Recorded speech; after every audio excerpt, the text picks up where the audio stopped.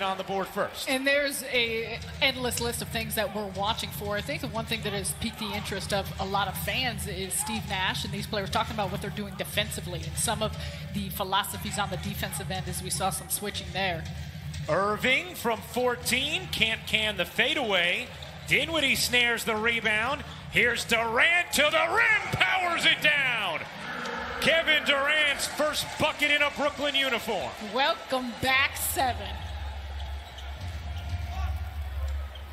That jumper won't go from Brown and Durant with the weak side rebound. Steve Nash and Durant have both talked about him playing all five positions as Jordan flushes it down on the delivery from Durant.